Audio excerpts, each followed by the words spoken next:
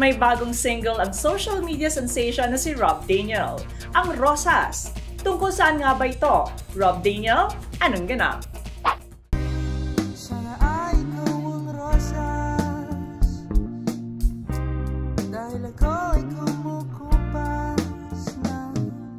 Um, basically, yung song, it is about an unforgettable love.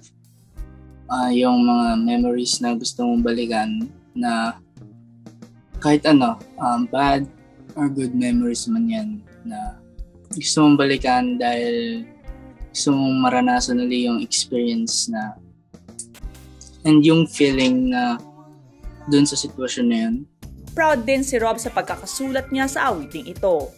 galing din siya sa mga naiisip ko before na ideas, na imaginations.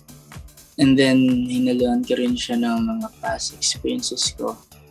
Like, ayun, yung mga memories na hindi mo makalimutan. Kagaya ng mga nauna niyang hit singles, siguradong magva-viral na naman ang Rosas at ang music video nito. Follow niyo ako sa social media ko. Sa Twitter and Instagram at Sinor underscore RD.